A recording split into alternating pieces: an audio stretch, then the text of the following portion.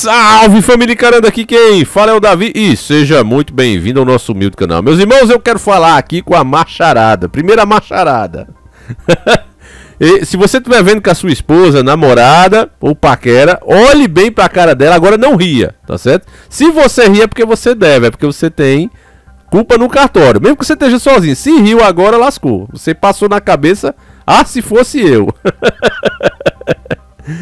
E as mulheres eu pergunto, né? As mulheres aqui do canal, as nossas irmãs despertas, o que é que elas pensam sobre isso aqui? Primeiro já me chamou muita atenção a quantidade de e-mails pedindo essa matéria. Fazia tempo que eu não via tantas pessoas pedindo o mesmo título. Eu separei apenas quatro aqui, que foram os quatro primeiros, mas me surpreendeu realmente a quantidade de e-mails pedindo essa mesma matéria. Eu não li ainda, o que me chamou realmente a atenção foi o pessoal, Davi, fala disso aqui, fala disso aqui, a gente vai ver juntos aqui. Vamos lá, vamos primeiro agradecer aos irmãos. O primeiro foi Marcelo Mumbeck, desde já ficou agradecimento a esse irmão de fé e batalha. Depois veio Silvionei Ramos, em seguida Renato Valen e Hércules Fernando. Então fica o agradecimento a esses quatro irmãos de fé e batalha aí e a todos os outros que mandaram essa e demais dicas, tá certo? Vamos lá para essa tão esperada matéria, que pode ser o sonho de muitos homens, né? Ou não, pode ser o um pesadelo também, há quem defenda isso. Enfim, você vai decidir. Então, como não há tempo para perder, pega agora mesmo seu cuscuz com banana assada e vamos iniciar o nosso quadro.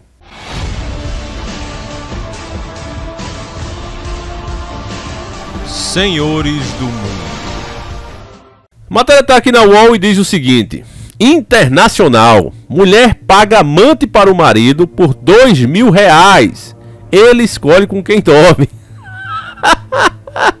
Se você está assistindo com o marido, né? O namorado, com o paquera, e ele riu nessa hora, é porque ele, no mínimo, pensou: ah, se fosse eu. Dê na cara do safado. Brincadeira, viu, família? Não vai fazer isso não. Mas vamos lá, ó. Uma tailandesa causou surpresa nas redes sociais com um anúncio de trabalho inusitado. Ela procurava um amante para o marido e, pelo jeito, achou. Pateme, 44 anos, precisava contratar pessoas para ajudar em sua casa, no trabalho e também queria alguém para agradar o marido. O anúncio bombou no TikTok, segundo o jornal britânico Daily Star, mas a publicação já foi tirada do ar. Em um vídeo, ela anuncia as três vagas, sendo duas para auxiliares e uma para tratar mais diretamente com o homem e o restante da família. Os requisitos para a vaga era ter entre 30 e 35 anos, ter concluído o ensino médio ou ter um diploma e apresentar teste negativo de HIV. Pelo menos ele se preocupa com a saúde, né? O salário proposto foi de 15 mil BANT mensais, cerca de 2 mil na cotação atual, 2 mil reais, né? Na nossa moeda. Para duas vagas em escritório e para a outra pessoa que, além do marido, cuidará dela e do filho do casal. Você receberá pelo menos 15 mil BANT por mês, terá acomodação e refeições gratuitas, mas precisa me ajudar. Dois serão contratados para ajudar com o trabalho de documentação em meu escritório e outro ser contratado para cuidar de mim, meu marido e meu filho, disse ela no vídeo. Então aqui mostra uma carência, a gente já vai comentar isso aqui, mas está já encerrando. Patman prometeu que o ambiente será de paz. Eu garanto que não haverá briga entre nós. Eu permito que meu marido escolha com quem ele quer dormir ou ficar, sem horário. Ele pode escolher sozinho. Apesar da vaga do emprego inusitada, uma amante de 33 anos considerada apta para a vaga foi encontrada, mesmo não sendo o que o marido esperava, segundo o tabloide ele concordou que ela pode ser sua pequena esposa. A escolhida é uma amiga próxima da tailandesa que nos próximos dias deve sair para jantar com o casal e montar o planejamento para cuidar da família dos novos patrões. Aqui encerra a matéria. Para mim, sinceramente, família, o que realmente me chamou a atenção, não tinha lido, estou lendo aqui junto com vocês, foi realmente é, como chamou a atenção do nosso público. Mas quem está realmente desperto sabe que isso aí não é novidade. Essas práticas, e eu vou lembrar até de Roma, né? Sempre dou exemplo só Domingo Morra, mas Roma. Roma era muito normal isso acontecer. Era uma prática da sociedade, principalmente da alta sociedade. Embora eles queiram imitar, né, as festinhas do cabide que rolava ali, os romanos eram especialistas nisso. Eles cortam as partes, principalmente quando você vê os guerreiros, né, falando, não, porque os guerreiros de Roma, isso e aquilo, engrandecendo. Eles pulam a parte que era feio. Por exemplo, o cara chegar acompanhado de uma mulher. Você tinha que chegar acompanhado de outro homem. Então era normal que as pessoas presenteassem as outras com um boy, né? Um rapaz novo ali que era usado para essas coisas. É principalmente aqueles que tinham os dentes mais certos, aqueles que tinham uma boa aparência. E a própria esposa às vezes presenteava o marido ou vice-versa com esse tipo de presentinho, né? Com os escravos íntimos. Então, o que você está vendo hoje na nossa sociedade, e eu venho alertando isso aqui, meus irmãos, é a volta dessas práticas antigas. Não tem nada de novo, nada de novo debaixo do sol. O que aconteceu foi que as pessoas se cristianizaram, perceberam que aquelas práticas só traziam coisa ruim. Porque quando a gente se afasta do caminho que Deus preparou para nós, meus irmãos, a gente pensa que está se satisfazendo. Ah, agora eu estou livre, eu estou fazendo o que eu realmente quero. Isso que você realmente quer, às vezes nem vem de você. Nós estamos arrodeados de coisas ruins o tempo todo. Nós não vemos, mas isso é uma crença espiritual desde a antiguidade. Você vê nas mais variadas culturas amuleto e rezas e feitiçarias e etc, etc, para afastar essas coisas, né? Cada povo tinha a sua, tinha a sua maneira. Para nós cristãos, a palavra de Deus basta né? Andar na linha, andar com Deus, a gente já cria a armadura, chamada armadura de Deus, quando a gente anda na linha. Mas quando a gente se afasta, a gente começa a sentir essas vontades que a gente pensa que vem de nós mesmos. Mas muitas vezes não vem. Estamos sendo influenciados, meus irmãos. Ah, Davi, mas se é assim, então eu não sou culpado se eu fizer merda, né? A desculpa de muitos, né? A desculpa de amarelo é comer barro. Pois é, a desculpa de muitos amarelos é justamente essa, mas pelo contrário, você é culpado duas vezes. Ora, se você sabe que não vai nadar e pula no rio fundo, você é culpado ou não? Ah, mas a água não era para ser tão funda. Não existe essa lógica. Essas coisas estão aí. Você sabe o caminho. A palavra chegou até você. Agora você não aceitou, ou seja, removeu a armadura, foi para uma treta de peito aberto e levou um balaço. Então a culpa não é do capitão, do coronel que deixou você entrar na treta. A culpa é sua mesmo, que jogou sua armadura fora e entrou de peito aberto. A culpa é sua que pulou em águas profundas sem saber nadar. Então na nossa vida, embora a gente não veja claramente dessa maneira, é isso que acontece. Tudo que aconteceu em Sodoma e Gomorra, meus irmãos, eu acredito que aquele povo está salvo hoje em dia. Eles tiveram um fim terrível, para que se visse de exemplo para as futuras gerações, gerações essas como nós, que muitos anos depois, milhares de anos depois, estamos falando sobre isso, nesse momento. Olha, lembra de Sodoma e Gomorra? Deus depois disse: Olha, Israel, se eu tivesse feito metade, apenas a metade das benfeitorias que eu fiz no meio de vós, aquele povo de Sodoma e Gomorra teriam se convertido, teriam se arrependido do seu mau caminho. Mas naquele caso eles precisaram ser usados como exemplo. Ô Davi, mas isso é justo? Com certeza. Porque estamos falando do Deus da vida, da vitória. Essa vida, meu irmão, embora a gente pense que é tudo, ela é passageira, é um treinamento. Imagine que você está estudando para alguma coisa e acha que aquilo é tudo. Não, você está estudando para alguma coisa, você vai se formar. Aquilo ali é só uma etapa do que você precisa para ser um profissional. E no caso é essa vida, é a mesma coisa, é um treinamento. O que vem depois é o que é real, é o que é eterno. Mas cada vez mais eles trabalham para que as pessoas não percebam isso, para que se perdam. Porque eles por si só já estão condenados, meus irmãos. Esses que servem ao maligno já escolheram o caminho deles. Então o que eles podem fazer, a mando do seu próprio mestre, chamado por vários nomes, é puxar o máximo de pessoas que eles puderem. Porque eles sabem que isso sim vai entristecer o nosso Deus. Então, resumindo aqui, o que você viu nesse casal, a gente brinca aqui, né? Eu brinquei bastante com vocês agora, né? Se o cara deu uma risadinha, tá lascado. Pode meter a vassoura no bicho. Pode dar umas cabadas de vassoura dele. Mas é isso, meus irmãos. E eu não sei como o próprio marido, né? Eu não digo nada do cara se apaixonar por duas mulheres e as duas mulheres se apaixonar pelo cara e entrar ali num acordo, não sei. Né? Mais ou menos como era na época de Salomão, do rei Davi. Mas nesse caso, com dinheiro no meio, olha, você vai fazer isso aqui porque eu tô te pagando. Sabe, isso é o que? A gente sabe qual é o nome disso, né? Quando você vende os seus carinhos, a sua intimidade por dinheiro, qual é o nome disso? É prostitu, você sabe. Não prefiro não não falar isso aqui, mas você sabe o que é isso.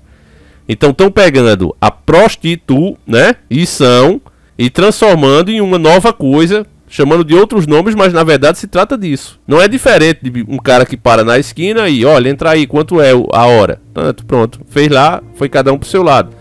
Na verdade, isso é mais honesto do que isso que eles estão fazendo. Porque se você for dizer, for criticar, olha, você está sendo a mesma coisa de uma pessoa que vende o corpo na esquina. Não, você está com isso, está com aquilo querem te detonar. Porque você tem uma opinião verdadeira, baseada na lei. Então eles vão criando essas modernidades para poder confundir. Não você que está desperto, não eu que conhecemos as Sagradas Escrituras e qual é o caminho que devemos andar. Nós sabemos disso. Mas o jovem, né?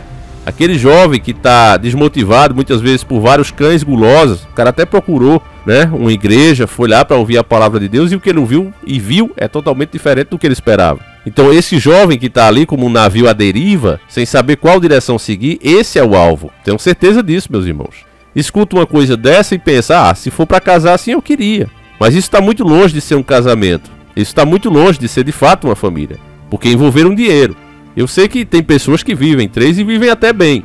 Já vi casos aqui. E eu não me meto, né? Se dois adultos, três adultos decidirem uma coisa, eu fico na minha. Eu prefiro ficar na minha. Já disse a vocês que a gente vai se ver com Deus depois. Agora, o que eu tô falando aqui é porque tem dinheiro no meio. Tem dinheiro no meio. Se fosse uma coisa, como eu disse, ó, a gente se apaixonou aqui, eu não vou deixar ela nem você. Vamos ver o que, é que a gente faz. É uma coisa. Agora, ó, vou pagar, então é outra. Essa é a minha opinião e você, obviamente, não é obrigado a concordar, tá certo, meus irmãos? E eu faço questão de saber a sua. Deixa aí a tua opinião, o que é que você pensa sobre esse tema, né? E principalmente as meninas, você aceitaria uma coisa dessa? Eu gostaria de saber também. E eu queria agora pedir ajuda, meus irmãos, a vocês que puderem, tá certo? Teve um nosso irmão aqui, um batalhador, pai de família, e graças a essas estradas terríveis que a gente roda, né? E assim como é o caso de muitas pessoas, eu gostaria que você visse a ferramenta de trabalho dele não é apenas um carro, é a ferramenta de trabalho dele, ó. Quantos pais e mães, né, brasileiros aí dependem do carro para trabalhar, para carregar pessoas, levar criança para a escola e etc. E aí esse nosso irmão aqui, Agnaldo Silva, né, 44 anos, casado, morador ali em Ponte dos Carvalhos. Ele tinha essa Mercedinha aí, a Sprinter. Ainda o carro estava financiado, com a dificuldade que tá as coisas, ele não conseguiu pagar o seguro, estava sem seguro e aconteceu esse acidente grave aí com ele.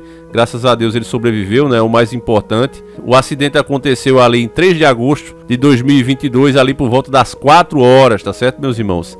Em Lagoa de Itainga. Tô colocando aqui porque quem quiser dar uma fuçada aí, né, procurar aí no Google, vai encontrar.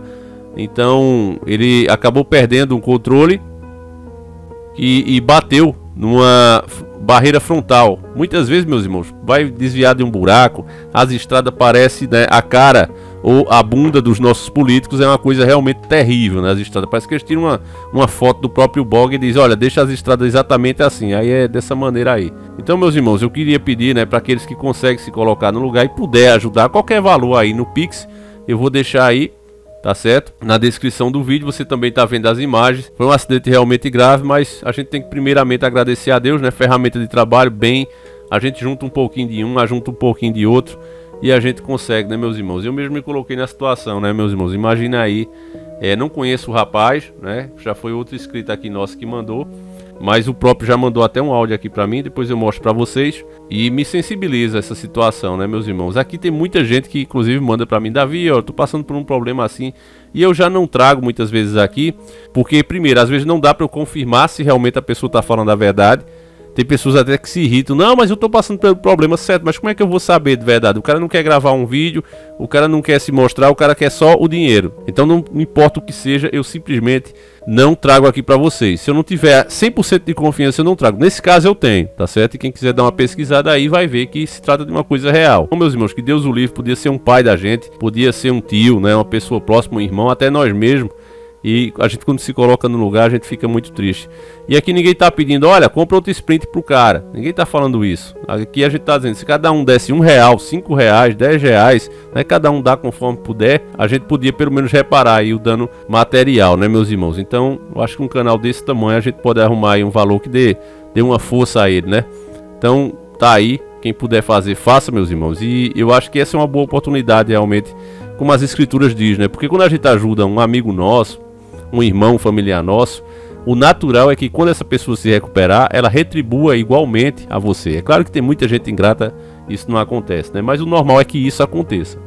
A pessoa fique pelo menos grata a você. Já uma pessoa que nós não conhecemos, quando você ajuda, a pessoa nem vai saber que você ajudou, principalmente hoje, né? Em questão de informática, a pessoa nem sabe. Ela sabe que o dinheiro entrou ali e que veio de alguma pessoa boa, mas não sabe que especificamente foi você. Então, as Sagradas Escrituras garantem que quando a gente ajuda, né, sem esperar retribuição e a gente não é retribuído, Deus pagará por aquela pessoa. E você imagina, o nosso Criador, que é tudo de bom, né, olhando para a gente e vendo que a gente de fato está ajudando o próximo, sem pensar num retorno. Né? Às vezes eu mesmo aqui não vou saber que você ajudou. Alguns vão comentar, ó, oh, Davi, eu ajudei, mas logo eu também vou esquecer. Então quem vai realmente saber que você ajudou vai ser você e Deus, meus irmãos, tá certo? E nele a gente pode confiar. Então deixa aí, é de coração mesmo que eu falo. Tá certo? Não vou ficar com um real disso aqui, tá aí direto do, do rapaz. Tá certo? Não tá entrando de conta minha nem nada. E aqui com vocês eu sou bem claro. Certo, meus irmãos? Então tá aí. Quem puder, né? Também não vai, ah, Davi, vou deixar de comprar meu pão pra. Não, pela, peraí, pô. Primeiro você tem que cuidar dos seus. Agora quem tiver. Tu tô com 20 contas aqui sobrando, ajuda o cara, né? Tenho certeza que o Criador vai se agradar e muito disso. Isso é a verdadeira religião, né? ajudar aqueles que precisam. Então é isso, meus irmãos. Um abraço, fiquem com Deus. Fui.